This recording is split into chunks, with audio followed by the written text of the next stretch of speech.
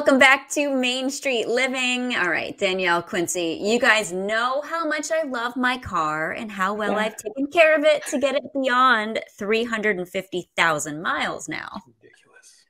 Cheryl, not. Still going.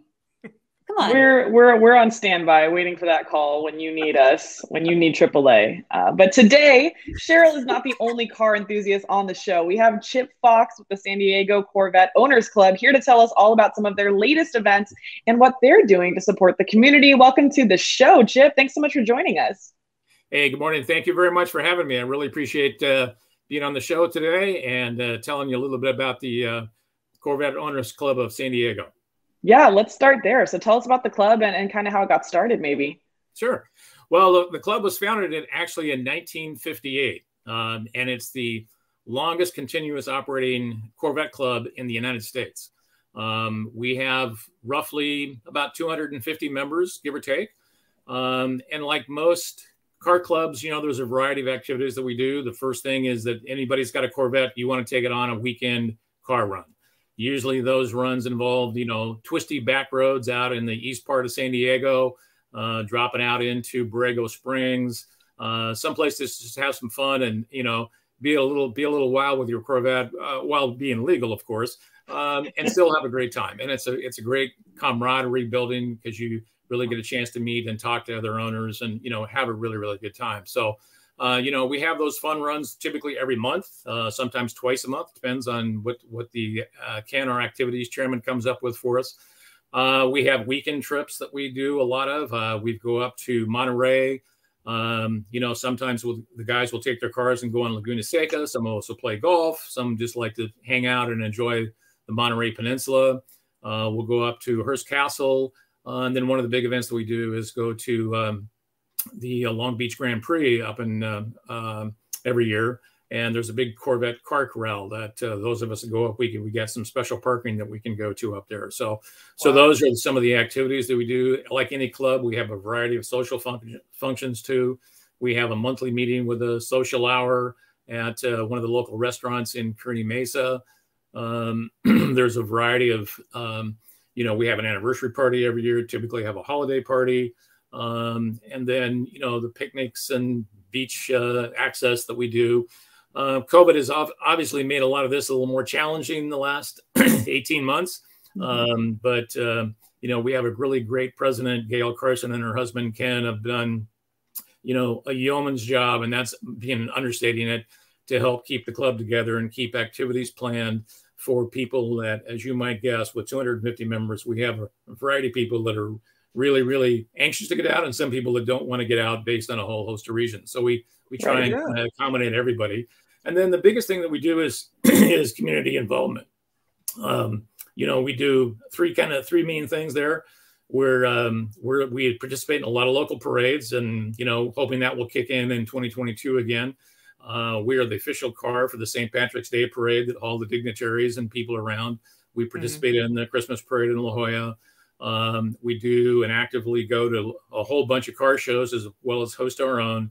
And then one of the things that I really like to do is um, we do a lot of high school homecomings where we'll um, shuttle around the king and queen and their court um, through pregame and halftime activities, uh, which is oh, always so fun. Yeah, that's really a lot of fun. We we just did one down in Chula Vista a couple of weeks ago. We had nine of us that were down there and just had an awesome, awesome time. It was it was yeah. great. So so those are some of the things that we do. I mean, as as as far as a club, and we through COVID have been able to, you know, I think stay reasonably active. Um, where many clubs have kind of you know closed shop and just kind of shut down for a period of time, we have yeah.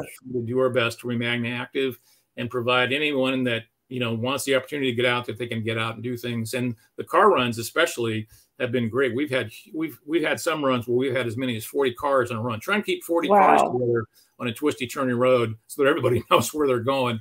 Um, but that's people wanting to get out, and it's a great way to social distance and have a good time without uh, being in what, the same room. So, so sorry to interrupt you, but like, like Corvette is already, you know, just a historic brand of car. Now, there you guys hold many events, but you guys got a really big event that's coming at the Main Street America Car Show. So, tell us what that event is like. Yeah, yeah, good question, Quincy. Um, so the Main Street America Car Show is one of the biggest car shows that's held in San Diego. We we hold it at the um, down behind Seaport Village at the Embarcadero. Uh, we typically every year can sell out at 350 plus cars. Um, and when we did the show in July, we had just uh, 350 cars, and it runs the gamut from the variety of cars that you'll see from you know the Low Rider Club, the Miata Club, the Corvette Club, you know the Mopar Club, uh, the the Ferrari Club.